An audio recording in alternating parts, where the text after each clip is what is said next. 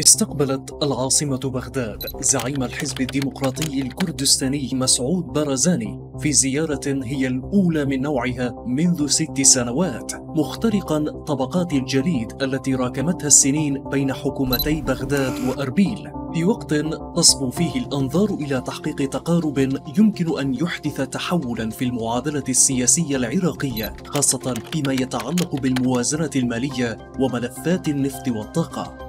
بين أروقة السياسة ودهاليز القوة. افتتح برزاني جولته بلقاءات رفيعة المستوى رسم مسارها بنقاشات بناءة مع رئيس الوزراء محمد شياع السوداني ورئيس مجلس القضاء الأعلى فائق زيدان.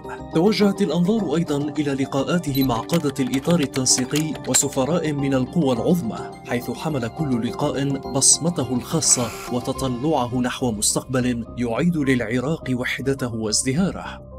أما اللقاء الذي يعد من اللحظات المحورية في هذه الزيارة فكان في منزل رئيس تحالف السيادة الشيخ خميس الخنجر. ففي هذا المحفل تلتقي الأماني بالواقع حيث أعربت القيادات السنية عن تقديرها لهذه الخطوة الجريئة معتبرة إياها فاتحة خير على العملية السياسية برمتها مسلطة الضوء على أبرز القضايا العالقة والمطالب ومشكلات السنة مشددين على أهمية التنسيق والتفاهم بين الأطراف لتحقيق مطالب جميع المكونات.